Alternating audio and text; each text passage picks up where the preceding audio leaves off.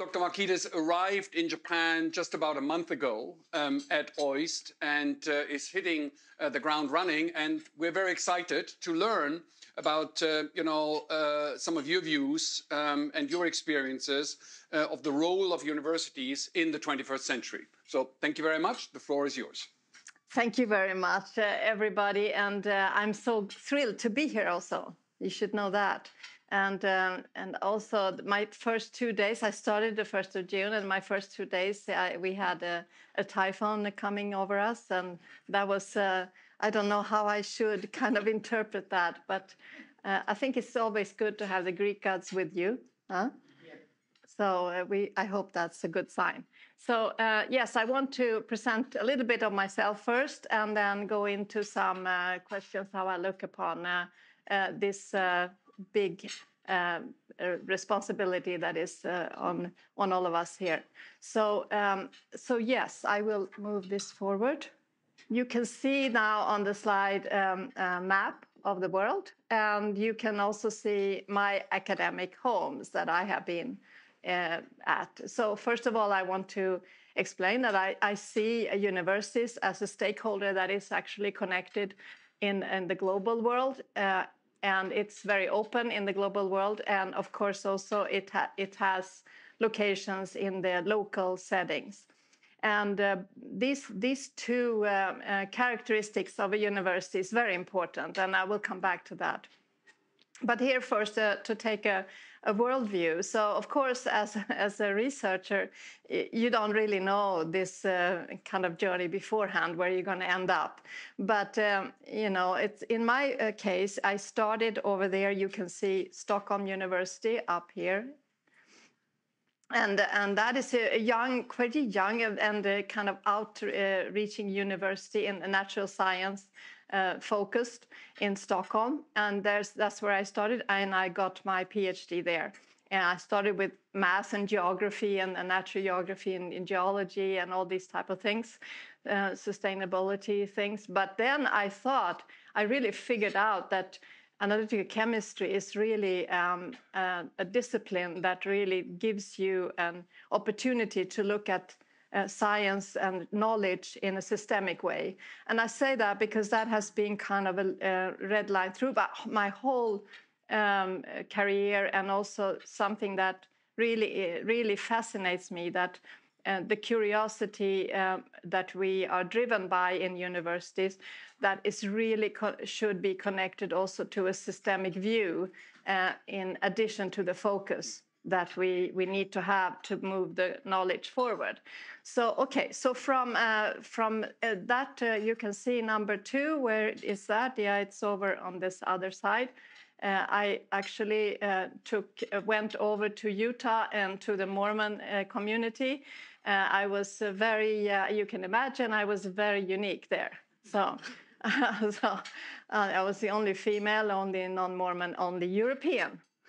and and but the university um, is really i was in the wild west yes but it was really university that i taught, taught me a lot about innovation. I mean as you know uh, they uh, the mormons are super good in long-term thinking and innovation and how to collaborate. So i learned a lot about those things there. So so after i took my tenure there I um, actually went back to Sweden and to Uppsala, uh, now to another third type, because BYU was private, of course, and and um, and Uppsala University is, is public, and it's really a huge uh, university, very old, very old and traditional. So I really got into that kind of life, and there I became professor in chemistry and also dean of chemistry, and and uh, we it was a, a very uh, very very important time for me to understand really the uh, the whole history of uh, and where we are in university settings and the challenges we have.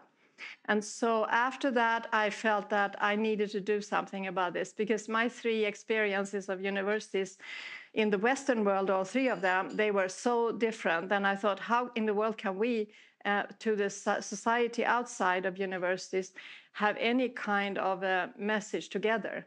We are so different. So then I thought I wanted to work uh, for a few years uh, for the Vinnova, which is not on this map here, because it's um, uh, I was a director general for the, the Swedish Agency for Innovation for a couple of years just to understand uh, see to i put myself outside of the box to see what in the, what is going on after that i actually got recruited to become a president of the only private university in Northern Europe, which you see down here, Chalmers. And Chalmers University of Technology is um, uh, really, it's private and public. It has uh, about 40 daughter companies and it has the best uh, innovation uh, um, uh, processes in uh, universities in Northern Europe, I would claim. and so it was a very rich environment.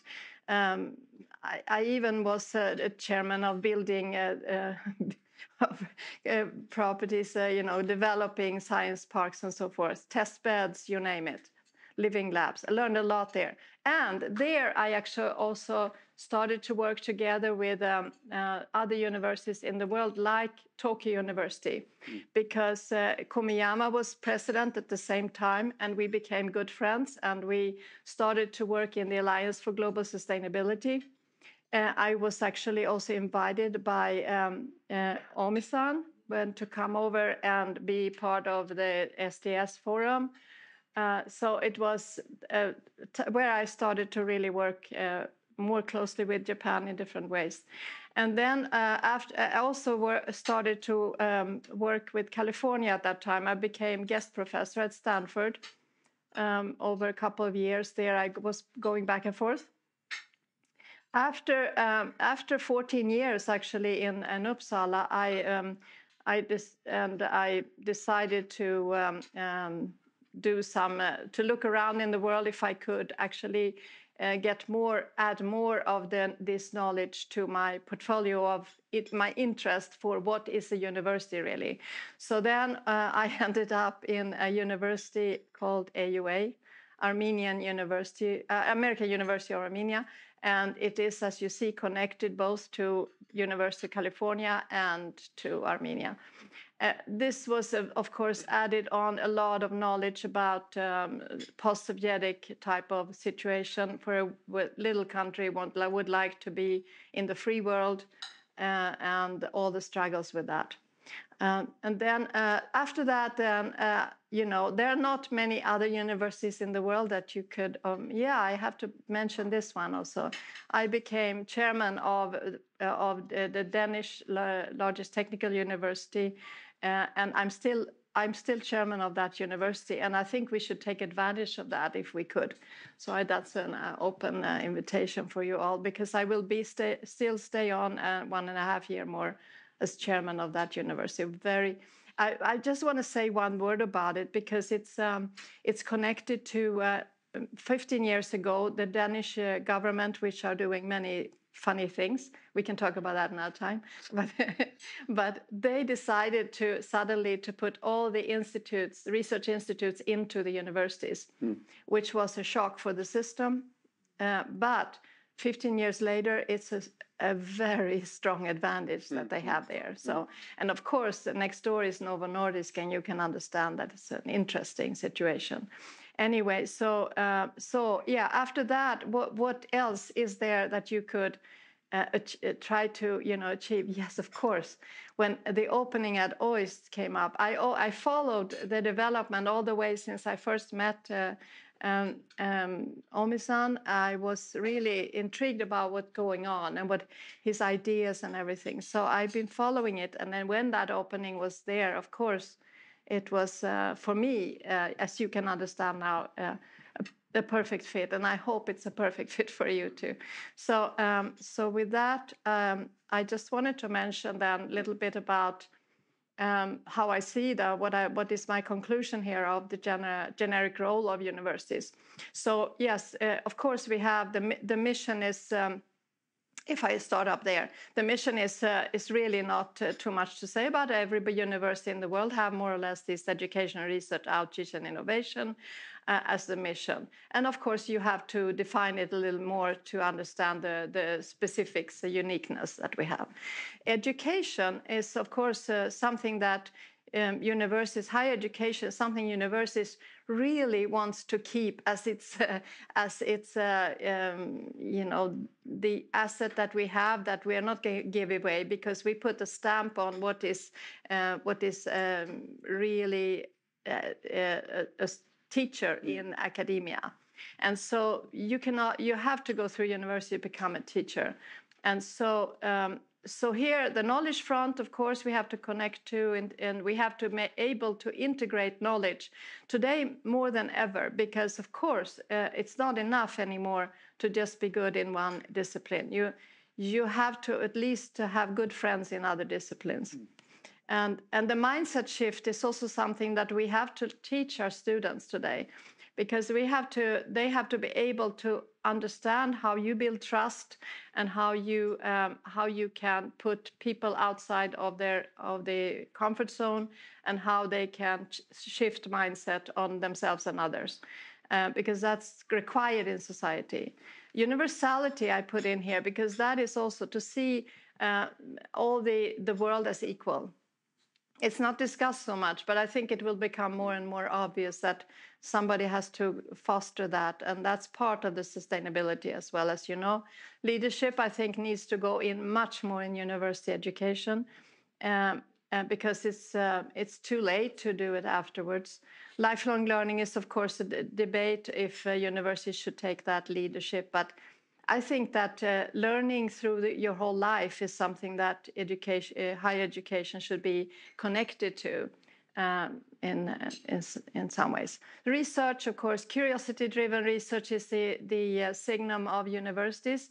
Um, eh, of course, we have very good, is as good research going on in industries and, and, and other places, but uh, the curiosity-driven is uh, can, of course, also be need-based. Mm. It doesn't have to be that you're totally isolated from the world to, to think freely, but because curiosity can be actually in many different forms, but it, it needs to be open and uh, you cannot control the thought. Mm. So this is what we try to to develop even more.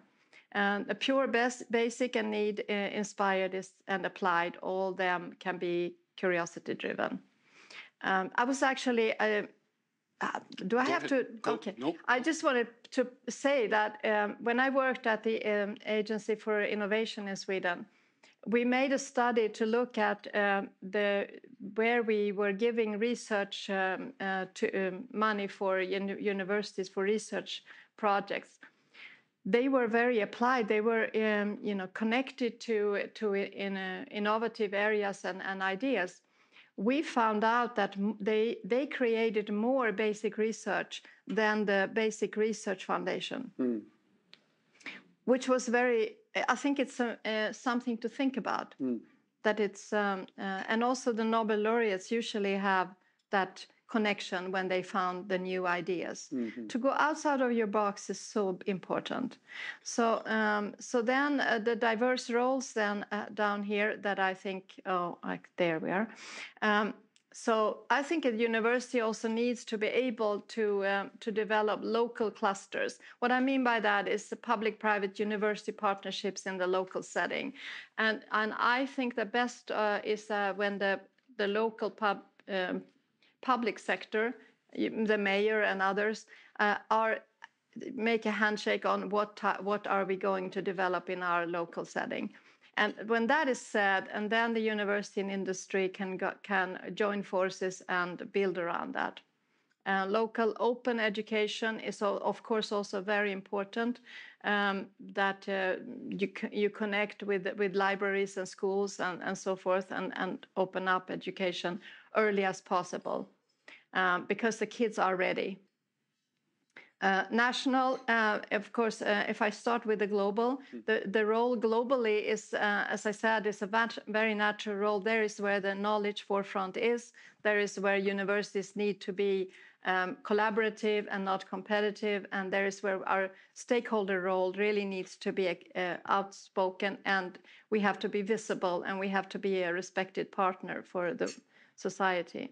So networking is, of course, a, a, key word for how we network on all different levels. So I jumped over the national. Yeah, the national, I think it's it's um, it's not really we don't really belong to the national level, but the national level is very very important uh, for many different reasons, but mostly for the nation. Because if the nation has good universities, the nation will win on it. The people will gain on it. So transformation uh, is something that I think is also part of the sustainability goals and uh, we have to we have to understand how to transform while we are doing research and education and outreach and innovation but we also have to prepare um, this, our students to be able to do that in, in wherever they go in society now, the, the most important thing might even be to prepare the society for our students. I have several uh, interesting examples where the students were too well prepared and the society was not. And it's also not so very good. So we have to, that's why we, that's a, an, really a reason why we have to really collaborate with mm. university and, and the uh, outside world so that we prepare everybody. Uh, evolutionary Oh, lateral thinking. You might wonder what lateral thinking is. Yes, it's just to put a word that could fit in this box, actually. It needs an, a longer explanation, but, but it is really the brain is, as you know, is really wants to focus, um, and um, so so the the focused knowledge um, when it co you combine it with the imaginary imaginary knowledge, um, so that the objective and the subjective part of society of the mi mind is working together. That's lateral thinking and that's something that is very important becoming more important now of course with the digitalized world.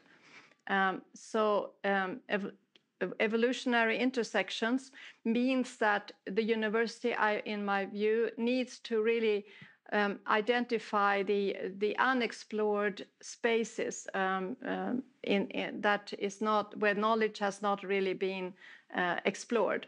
And and make people come together and uh, into those spaces between disciplines between stakeholders and so forth.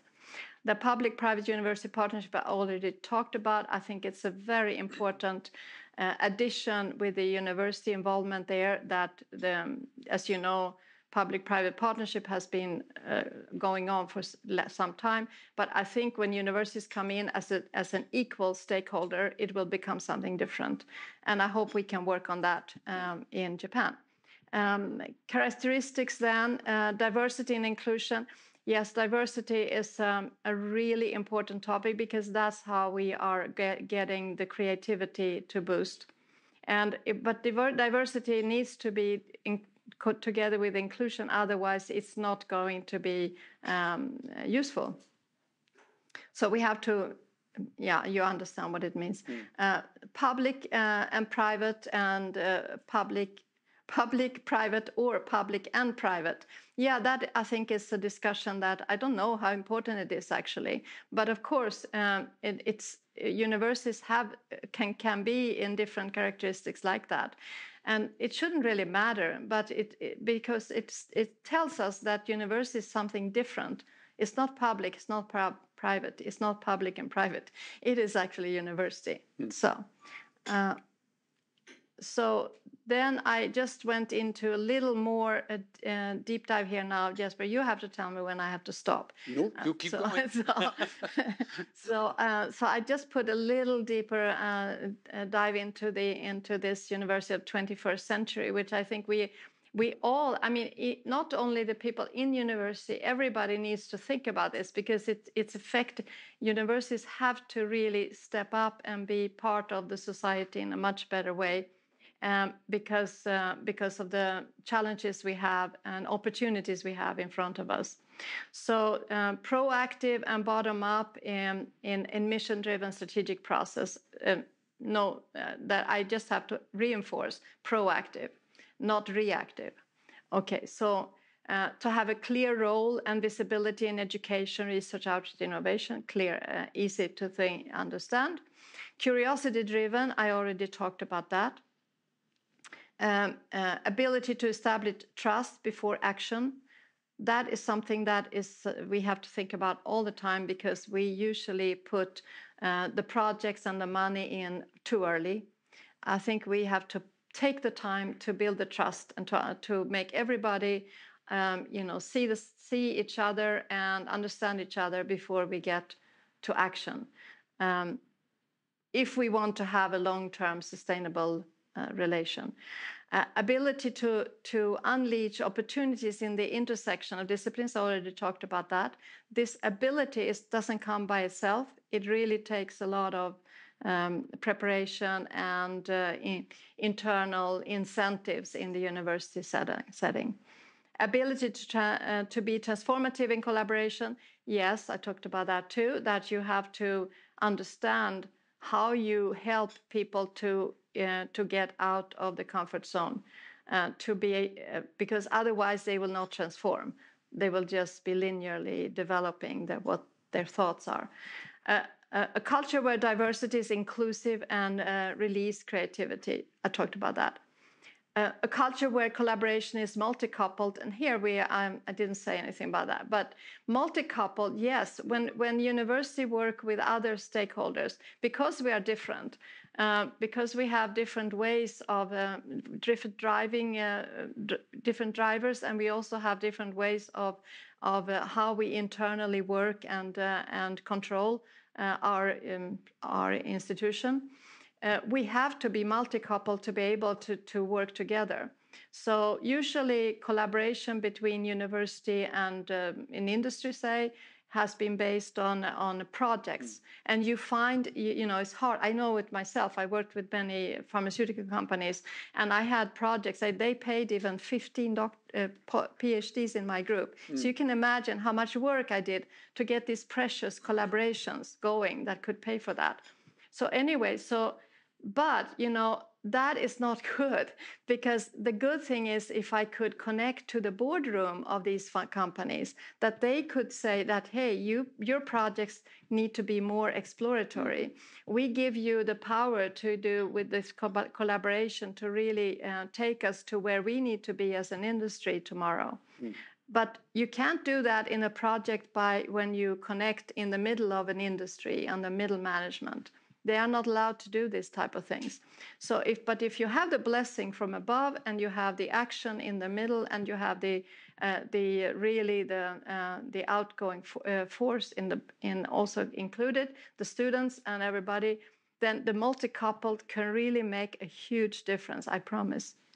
Uh, so um, a culture of lateral thinking is um, the combined logic and imagination I wanted to repeat that because it's very crucial. Um, uh, a preferred partner, um, of course, in the public-private is not somebody you invite late in uh, because we don't have money. We are not the ones that are deciding where. If you calculate how much money it, it has cost to to make a professor to come to a level where with knowledge they are today, mm uh, that's lots of money. So we are actually our in kind is a is a high value in the collaboration.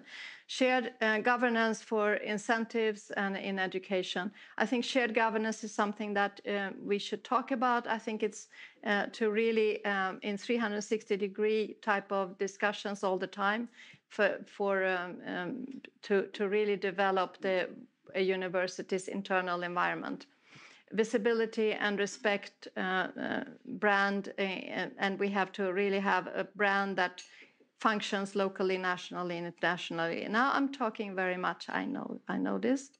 I'm going to go faster. Um, keep the pace is good. so, okay.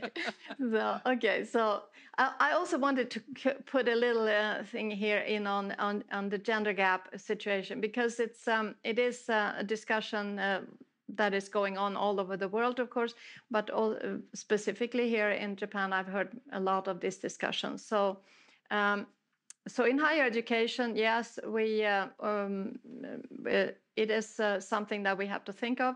Uh, a gender gap is uh, can threaten the nation, I would say, because if we don't release the diversity um, that we have in in different ways, the, then we will lose out on creativity, and the nation will fail on that, of course because uh, that's uh, yeah, that's obvious. Uh, a gender gap is uh, is visible at higher uh, career positions, uh, but it is hmm. not. It's caused in other places. It's caused much earlier, so you cannot solve it there um, in the, where you see it. You have to solve it where it's created, and it's created very much in the family structure. Uh, of uh, traditional roles. And um, um, the difference in salary is a really bad uh, problem because if you have difference in salary, you cannot really release the, that the parents have equal, you know, can can be incentivized to be equal parents to their kids and so forth. Uh, in Sweden, ha they have solved more or less that problem so that mm. you can see in the university setting that um, uh, both male and female are really talking in the same way about having uh, mm. time with the kids and, and helping each other and so forth. It's not a really um, a, a, discussion there at mm. what it is here. So, so I think the difference in salary is the key mm. because if you have that, then you can open up a lot of possibilities. Um, and uh, of course, um, the unfavored gender, and now it maybe in our case it's females in this science engineering setting. Um, they, if they the ones that come into this environment, they often get a lot of um, uh, time-consuming roles that they have to be part. But you have to have a female in each um, group and and uh, meeting and so forth, and that really destroys their opportunities. Um, I also think it's very important to have. This is my opinion now that when you uh, select um, and and change this, an unfavored and dominant gender needs to be selected the same quality criteria.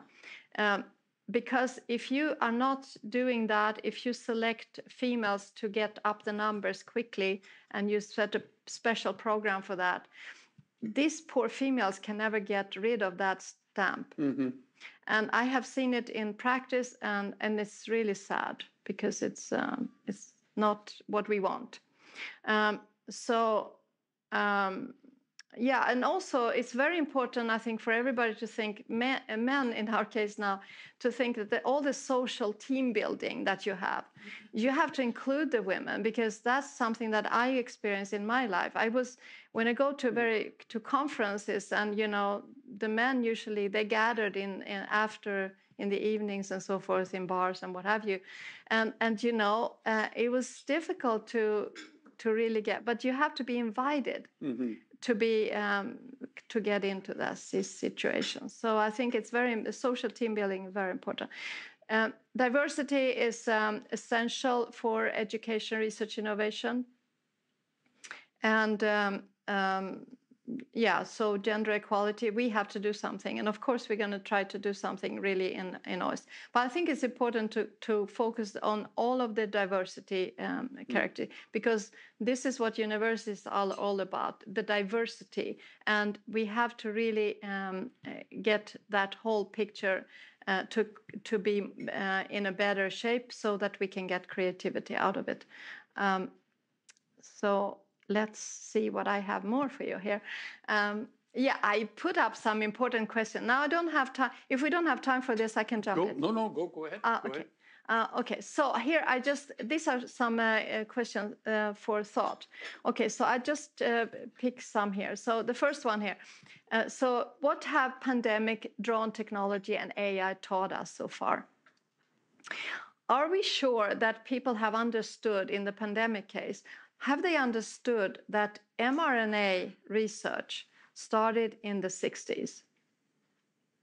And it was, you know, a, the ability to really connect M- mRNA in the cells in the 70s.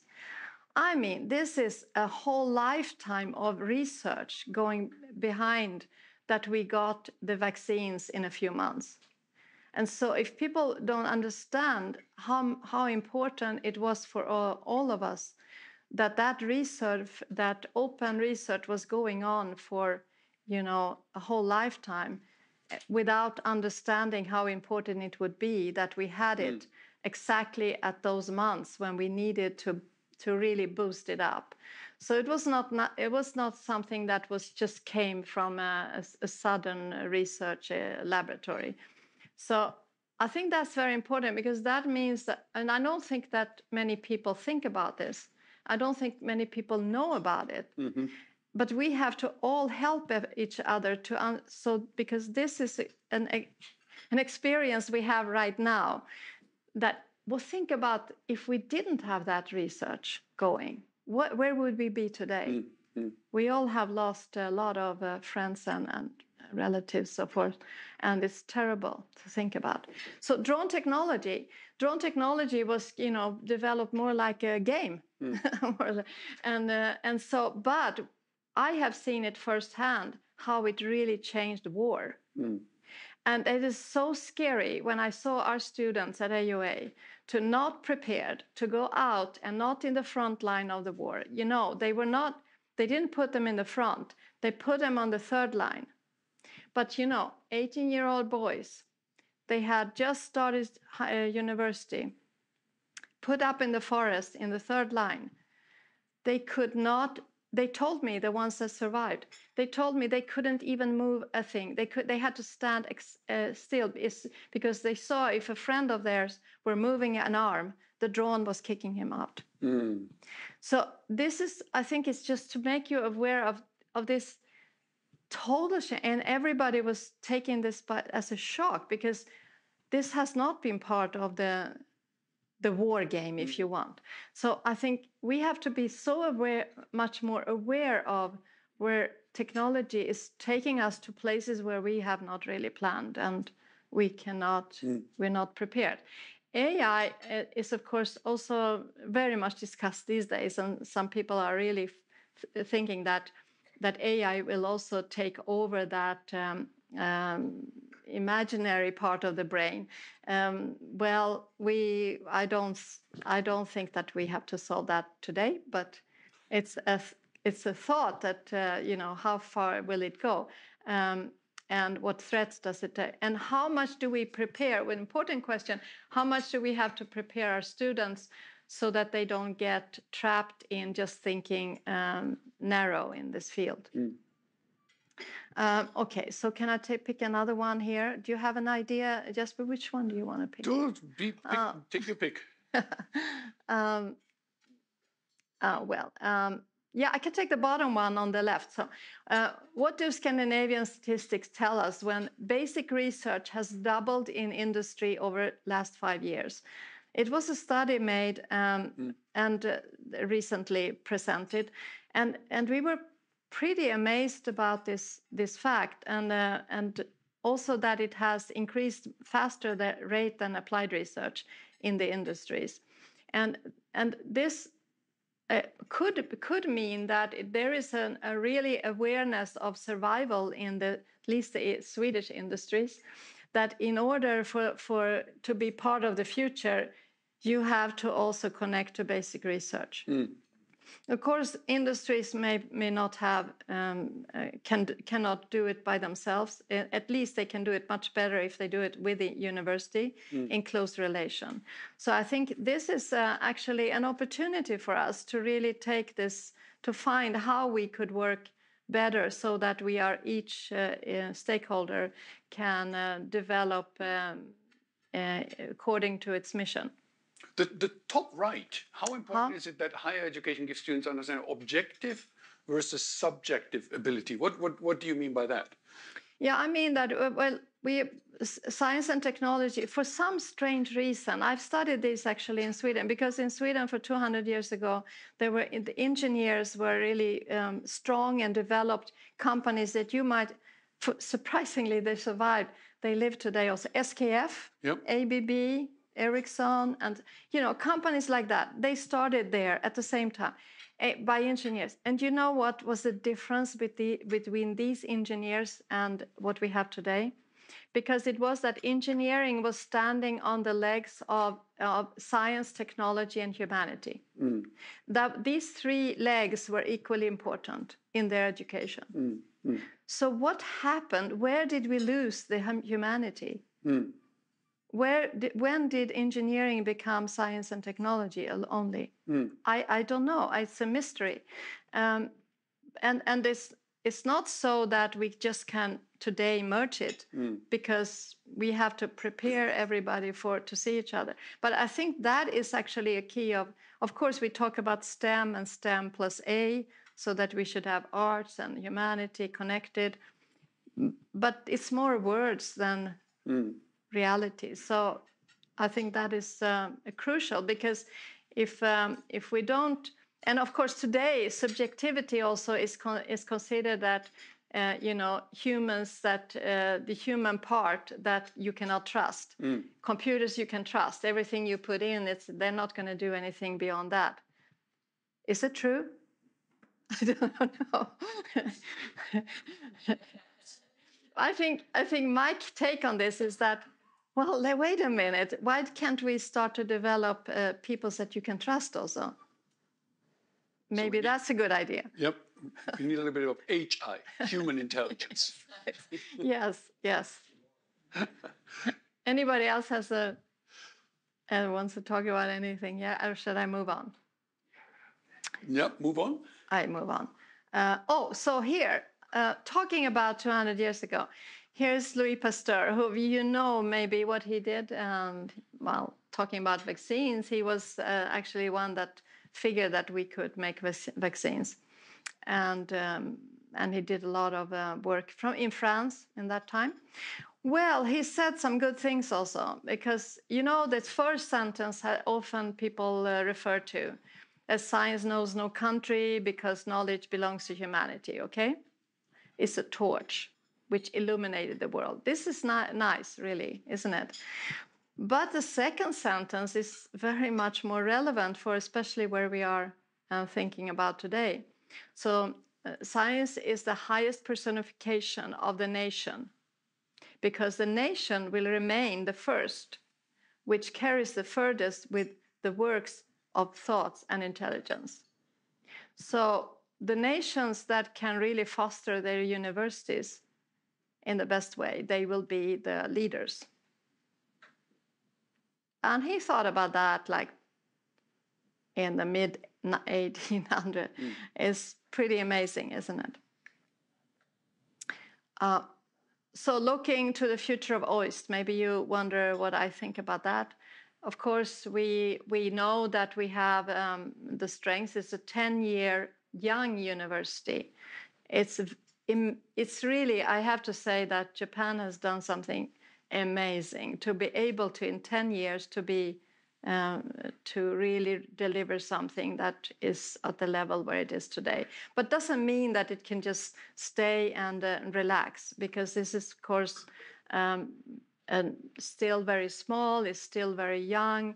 It has to it has done the right thing so far. And so now we have to really and i'm not saying that only the people at OIST, i think all of us I think this is an investment for Japan in Japan mm. and for Japan in the world. So let's look at it like that. It's not going to stick out and be alone, and that's not the purpose. The purpose is to really uh, try to uh, to to help. We have to help each other to get the best practice that can spread in the country to really help the country to be more, you know, to be a preferred partner. Um, so um, I'm, do not have to go through the strengths because you probably you can read them and you know them. So opportunities. So opportunities that I think we can do from the position we have in a strong research and education is that we could uh, develop further on uh, on connection to the outside world, and and test beds. Uh, um, is is of course a possibility that we can um, develop further. What does it mean with test beds? It, it means that today, um, as I alluded to before, industries and society are uh, transforming into more sustainable solutions, which where you have to be to be competitive. it means that we can no longer have that each industry is um, is just protecting everything and have their own plugs in the wall, if you want, their own solutions on on everything to keep to keep uh, the the customers, uh, you know, in in in their uh, control. No, that doesn't work anymore because the uh, the world will change so much. So what what industries have to do is, of course, to be brave and open up and uh, and really work together to set new standards for the sustainable world. And on top of that, the competition needs to come in. So you need to kind of mm. kind of re- reset where competition is going on and not too um, too simplified. Mm. And I think that's the ones that will do it. And and I think if you want to if you want to survive, you have to do it because the only the ones that won't do that will be the uh, the competitive ones in the future. It was surprising also that in in the European Union that, that I kind of worked uh, on and off, and there they, there's quite few examples of um, you know su suggestions for setting new standards. Mm -hmm. So uh, I read that as this is an opportunity. If people are not doing it so much, it means that we can do it and we can take advantage of it. Mm.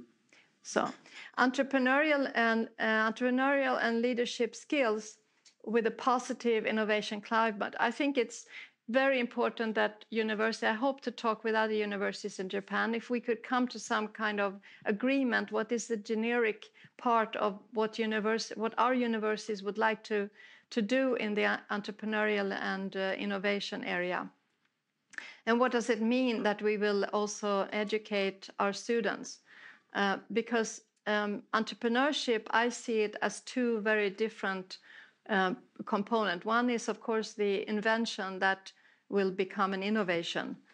Uh, the other part, which is equally important, is uh, the people that are entrepreneurs.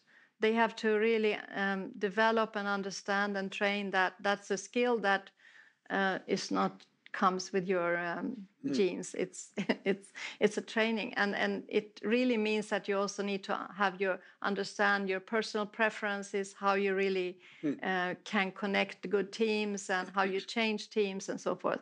I think that is something that we need to in, include more in the university. But most of all, I think it's important that in the innovation process will never happen in the university as such. Mm. It will never happen outside of the universe. So we have to kind of find uh, how how much of it that we would take responsibility for, and how we work together with the other stakeholders. Mm. Um, so uh, Okinawa uh, could gain from becoming a two-language island. I write here. I don't know if, how many of you uh, agree with me, but it has I think whole Japan would gain on that to see Okinawa as a test bed for two languages. Now, I have been told immediately that no, you're wrong, Karin. This has to be three languages because we already have two Japanese languages there. So, so, so, uh, well, uh, that's okay. Um, we also so have. So you want to introduce Swedish? yeah, Swedish or uh, Greek. I thought Greek. Oh, but there you go. Now we're going back. no, but uh, but to be, um, you know, not only. I mean, now for the tourism also, is uh, it makes sense. Of course, we can see try to see that, uh, you know, the the painful history actually gave us something good. It gave us a little bit of English language in the country and in the island, and and so that's a good start. And we, why don't take advantage of that? And and really because that could really help also to attract um, uh, companies to attract um, business mm. to also make our students that would like not more than anything else they like to stay in japan that they started to love mm. they come from different parts of the world and if we could help them to kind of get a job also mm. and stay on and that could i think we have nothing to lose Mm. But I might um, not know everything that I need to yet. I have only been here for a few weeks, so bear with me. Uh, okay, challenge of low-paid jobs. Uh, could become a driver. So I, you know, my husband, he, you, you met my husband. Yeah, he's, he, he tells that uh, I always see. He, he has a problem with that. I always see every problem. I search problems to turn them into something positive. I don't know if that's a problem by itself, but but I but you know what's what I know what I learned in my life is that when things are a little bit chaotic or problematic, that's when you can make a change. So uh, so that's maybe why I, I look because here of course the low paid jobs we have and and uh, um, in in Okinawa and the the different types of um, um, the, the work the work mm. uh, la- labor market there um, to really to um, to take it to another level to, or to add another level I would say because these jobs are very important as well but that could I could compare a little bit what I saw in Armenia that mm. uh, that the most uh, ambitious young people were the ones that came from the rural part of the country and the parents were applauding it they were helping and supporting uh, so I think that you know all the the young people all over the world are equally um, you know able mm. to to move on in different and uh, and really be part of society and change of society. But uh, but the ones that have grown up in really um, you know difficult conditions or unfavored conditions, they have that drive. Right. And um, their parents have that drive, and but the ones that you know live in really everything go you can buy it in the in a store they they tend to become a little spoiled. Okay so no? You're referring to sweden. You know well so um so i so i think that um that, that these uh, these are things that we could um yeah develop and take advantage of. So uh, that might have been yeah that was my last slide. No. so yeah so. So so uh, Karin, fantastic. I mean thank you thank you so much for an overview. And and, and again you were very bold uh, because literally arriving uh, in japan um, you know just about three or four weeks ago uh, being hit by typhoon um, and you know basically literally like in in week one uh, sort of presenting yourself i think that's very good uh, but I think um, you know it's a testimony to um, you know Asia Society and OIST um, sort of really wanting to collaborate um, and uh, you know wanting to learn uh, from each other. I would like to sort of focus in on sort of one area because your experience. Um, you know, sort of in Europe, uh, in the United States, and now, you know, Japan. Uh, but if for sort of one insight. If you look at the American higher education system, right, mm-hmm. it's all about money. It's a big business, right? Uh, it's a very well honed, um, you know, high performance machine. Um, while Europe is sort of a little bit more of a hybrid, right? But I'd love to get your insights and, you know, sort of your sort of initial thoughts on what maybe Japan can learn from the European experience and from the American experience? Yeah, very good, very good question. Because the, these, uh, the, the difference you point at is really a difference. And uh, it's, um, um, you know, I, th- I would say that in, in Europe there's one challenge, and I see it um, maybe in, in, in in the northern part more but i, I but you know really that to get um, the to get really people to want to educate themselves. Mm. That's really a, a, question, and also the universities have, you know, in their um, with their that type of politics you have in Europe that oh we have to educate everybody now every more more than 50% have go through have to go through higher education and so that kind of um, puts it in the, it kind of hurts the university's ability to be you know, to to develop its um, its character. Mm. Um, you know, so there's good and bad sides in it. But of course, in the United States, you could say that it's even worse because there, um, you know, you have to pay a fortune to get your kids through education, and the education is not really focused either uh, on uh, really what do the students need to learn mm. either.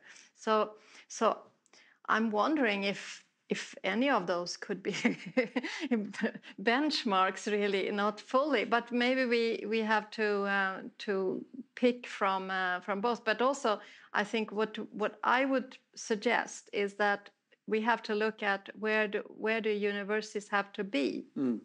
um, in the next uh, decades because i think that japan has advantages that both europe and, and us doesn't have mm. Um, this what I know that all the people in Europe talk about is how can we how can we be so long term thinking as Japan is in our um, uh, government. I, I, remember so well that they talked in Swedish government about oh here in Sweden we can only the only thing we can talk long term about is retirement. So it's terrible, and so you, there are so many other things that are important long term. No uh, sustainability one of them so of course sustainability in a in a you know in a not like small num not like numbers or just you pick this uh, piece of the cake or no just to take it into a real um, real challenge that would uh, transform mm, mm. because to, to transform together and i believe that if we could find a way that universities and industries are talking together mm. and and they they should find each other in the global world because we both are there and then um, um, with that um, challenge challenges that we can come up to we, up with we present to the political mm. world mm. because i think that um, i think that most um, nations and the politicians understand that that would really make them uh, mm-hmm. move forward. And, but but what happens today, also in in Europe, it's a, the bilateral discussion between politicians and industry, and between politicians and university, and those bilateral discussions mm-hmm. never will touch mm-hmm. uh, what really is needed to be competitive as a country. Right. Right. Was that an answer? That was a that was a very you know yes you know I don't know what do you guys think you know I I mean I'm sorry. That, one one other thing you you said something at the outset or, or, pretty early on that, that that that got me sort of a little bit puzzled. You sort of said that you know sometimes the societies are not ready for the university graduates. Oh yeah. Um, uh, yes. And you said you had some specific examples there. Oh, so yeah. we were, I think that would be you know what, what what did you mean by that? Well, I was, you know, uh, really kind of, in a way, naive when I um, started to uh, at Chalmers because I had so many ideas I wanted to uh, to put in in action in the university that I thought this is going to be really great. So we uh, we started to co connect uh, architecture, the area of architecture, with built environment, mm -hmm. and we we made courses that uh, the students were prepared. They, and we also gave them design thinking yeah, you can see where we're going here. So the students became really, um, you know, understand how to really uh, connect the architectural with the science technology, and then they were also transformative. Okay, so then uh, they were happy. There was a really active, uh, active uh, group cohort of students. They graduated, they got jobs easy, you know, very good jobs in the big firms and so forth. And then I got I went to I was proud. So I went to Stockholm. We had a, a conference on uh, architecture and everything, and they were so upset at me. They would chewed me out. These uh, firms, because what did I do to the students? They were they had so many ideas, and they are so uh, they want to change everything, and we are not. We, they have to come into our business, and we have to teach them the culture, and and on and on and and so they should not you know they should you know not learn so much at university so so but you know then it was not it didn't end there because then at the university the students started to come back the alumni and they were also upset you know that why didn't you tell us that we're going to have these problems when we get out in the workforce mm. So, so that was, uh, you know, from two sides. I really got that, and that was luckily very early on in.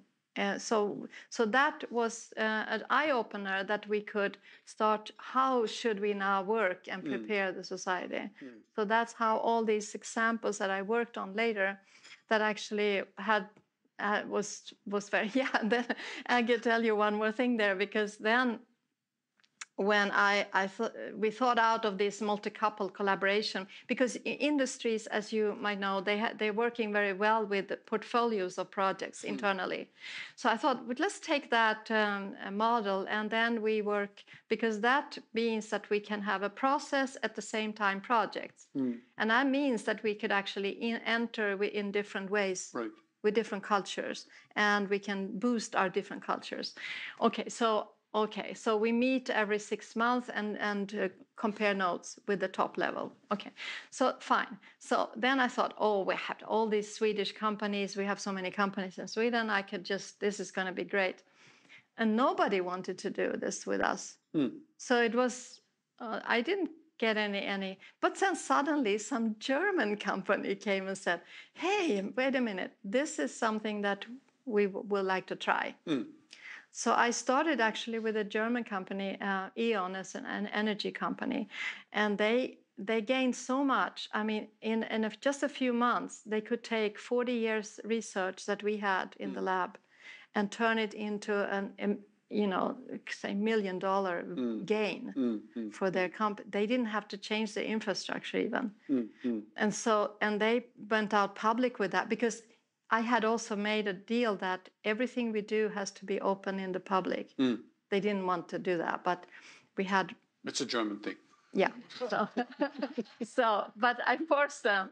Uh, I forced them. So I, I learned how to work with lawyers now. But, but so so anyway, so so that they uh, they published that, and you know everybody then wanted to work like that. So I think it's. Um, um, yeah these are two examples. But but these are like exactly i think you know where many of us who are sort of at the periphery or or involved in in in, in japanese education i mean you know sort of japanese are very good at sort of putting things into boxes putting things into silos and making sure that there's no communication and everybody's very proud of uh, preserving their own little territory. You mentioned um, you know in you i think you should be proud and and uh, you know that i'm not we shouldn't take away the proudness. No, no, we should uh, never, never take away the pride. You know, um, well, a little bit, I think, but um, little humbleness, I think, uh, you could go a long way. But um, you know, in all seriousness, you mentioned uh, the experience at the Danish uh, Technical University, mm. Uh, that they completely changed uh, their structure uh, by reorganizing the mm. institutes, if I understand you correctly, research institutes, research institutes, and integrating them into the university. I mean, that's exactly the sort of Kaikaku, the, exactly the sort of reform that yeah, uh, you know could, could be potentially quite quite attractive yeah. to Japanese. But tell us a, little bit more about oh, I think so you said crazy. Yeah, it's it, it is because it's uh, it's very difficult.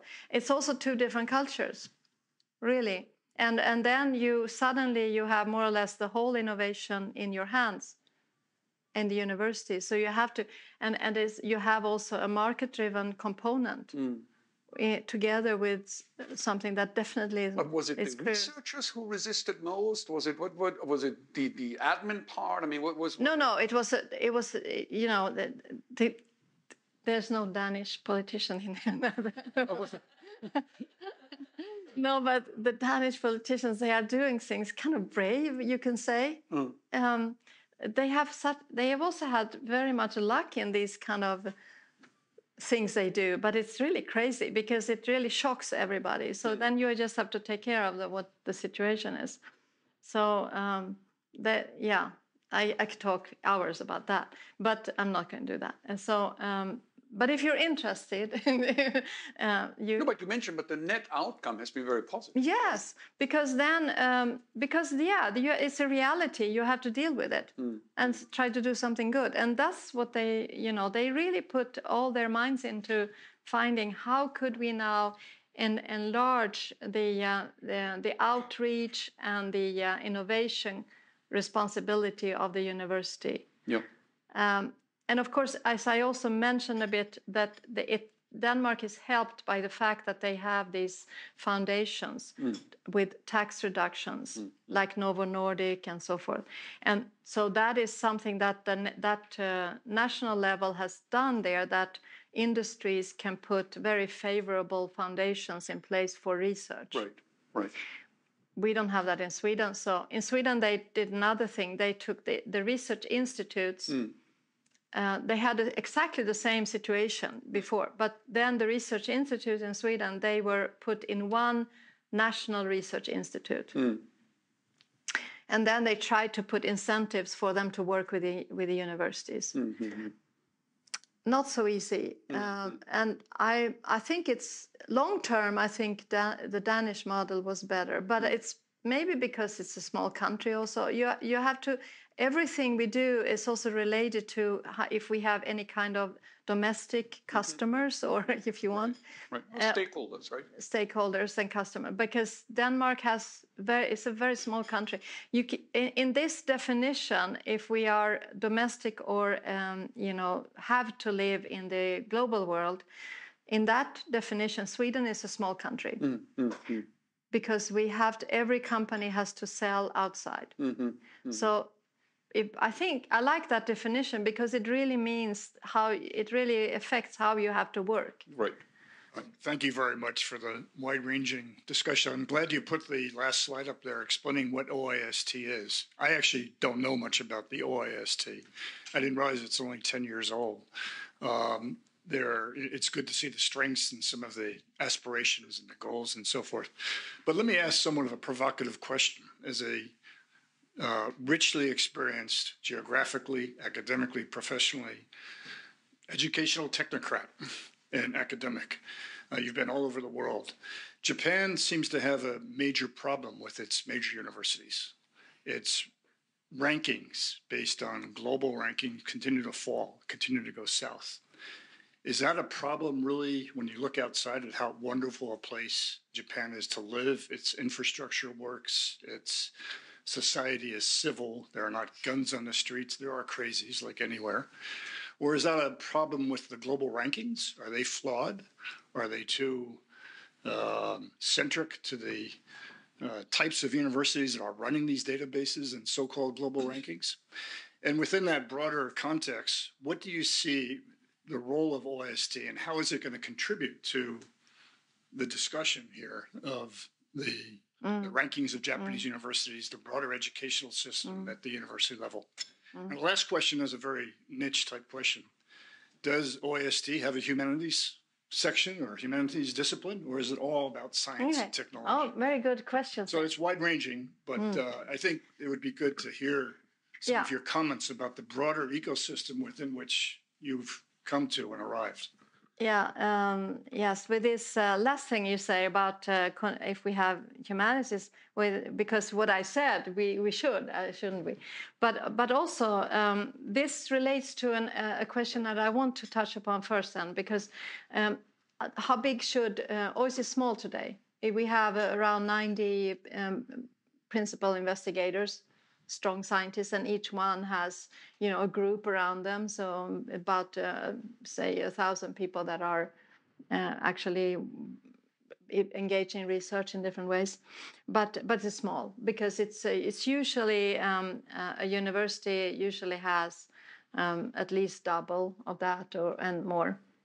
So so the question is and we are on a remote island so of course that also hel- uh, doesn't help to integrate and, and, and grow that way. But uh, but uh, uh, because universities are global, uh, then of course there is if we are able to really with each have very strong scientists and they have very strong networks in the with the best uh, groups in the world you know there is nothing that hinders us from be, becoming to act as a big one even though we are not too big so I think that um, uh, that component can really um, uh, be used and developed, and in doing so, we can connect to humanity. We don't have to have everything, um, medicine and different things.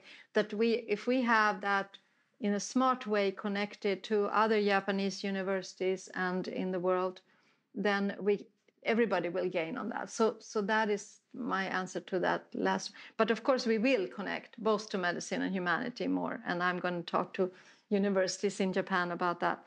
Um, so um, so then the ranking, yes, ranking is a, a very tricky thing because it's something that everybody hates and loves at the same time and and fortunately everybody's using it too so uh, so but um, at the time I, I was very active uh, with other universities um, in a uh, in in European Union and we tried to make actually we made a new ranking system it's called multi-rank and I think it finally has started to be used. It was uh, many many years it wasn't used at all because the you know the reason it wasn't used was that it was telling the truth.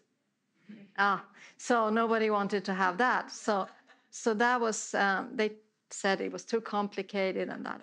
But but it's not really it's it was telling the truth. And now it's starting to come. It might and that's going to be a blessing because then it also shows a little bit you have to decide as a university what where do you want to be good? What do you want to stick out with you know so that you could actually choose that and that measures your your preferences. And so I think that's great because then you can also complement with others and so forth. So, uh, but uh, rank and, and now what we can do, what we can do as universities and what we did at Chalmers was that we selected um, rankings that we liked. Not that they gave us good results, no, that we liked that the ranking that ranked us on our um, culture, our what we would like to be, so that we could have it as a driving force for ourselves. We wanted to have more international students, so we ranked in that international student ranking, and so we could see how we and uh, so make it into a KPI if you want. Um, so that's possible to do because there are different type of rankings of all different things that you, we can choose and, and and use as a tool. Uh, but then, of course, in the end of the day, everybody's using times and so forth, and that and that is always favoring the big and the uh, old uh, universities. So um, so and you you can shift like company uh, like uh, universities uh, that um, the Japanese ones you say that they fall in this ranking. Yes, of course. I mean, it's not maybe they're not fall. Maybe others are going up. Uh, so I think that's probably what it is. And and of course, there are things that uh, that could be improved, and maybe that's how we should try to, in a good way, look at the situation to try to see what can we do that we anyway want to do, that would help us to move up in these rankings. And and there are many things definitely also in in the very good sides of traditions we have every tradition has good and bad things so we should dare to look at that, I think, and and uh, it's not so difficult to to really find some some things that could be improved. And I think first of all to really uh, not try to become like the others, try to be the model for the future. I think that's the first thing. And and I think that uh, Japan should really because I hear that a lot in, in Sweden and the Swedish uh, companies tell me that, oh, you're going to Japan, that's great, because we are, that's the only country we could really, we hope for to really connect with us in, uh, in Asia. This is Japan.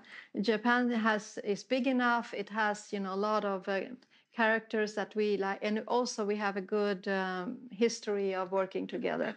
So I think it's, um, we I think Japan has so many good things that should lift up and really uh, uh, you know visualize.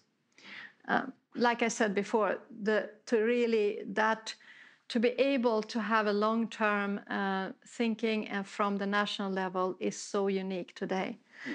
and don't lose that. So it's interesting. You're, you're very humble uh, as a board member of OIST. Um, OIST is actually ranked consistently in the top 10, um, you know, on the Nature Index, which adjusts for size of researchers. Um, and the genesis of OIST uh, was exactly this idea that Japan needs a catalyst, right? Um, you know, and the collaborations, um, you know, from the very international community and the very collaborative and interdisciplinary community that uh, OIST has, uh, you know, the interactions with Japanese top uni- research universities to step up, uh, you know, collaborations there and thereby uh, get out of Shimaguni Kozo, get outside of Japan and get the researchers, um, the Japanese uh, uh, researchers, uh, as well as the postdocs, as well as the doctoral students that exchange pulse and metabolism, right? Um, you know, is one of the big, um, you know, tasks that OIST is mandated to do. And, you know, with your leadership, I'm sure it's going to prosper um, and, and deliver on that here. We've got one more question. Takehito from Sophia University. My question is academic leadership from your perspective. Many Japanese universities have chairs, academic deans, or provosts. They are Japanese people because of they don't move to another institution. They are internally promoted, including president. If individually they want to be connected to the OIST leaders or leaders, Uppsala University, Swedish University, and construct trusted, uh, trusted uh, relationship in the long run. What kind of component will be important for Japanese leaders to communicate effectively with non-Japanese leaders around the world? Thank you. Well, well, definitely this um, what you're pointing at to um, to have mobility in your career um, between universities. It's a must in most countries. Um, and that's an easy should be not so hard to do actually if we if we put that as a as a priority.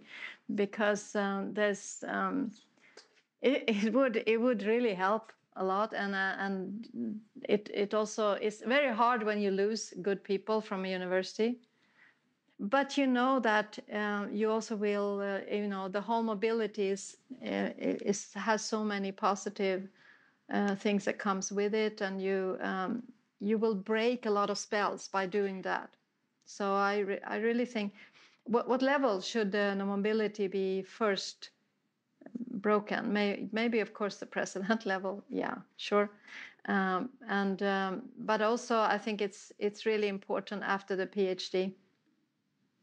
Um, it's important also to to really prepare the PhD for a, a a career um, by themselves during the PhD studies.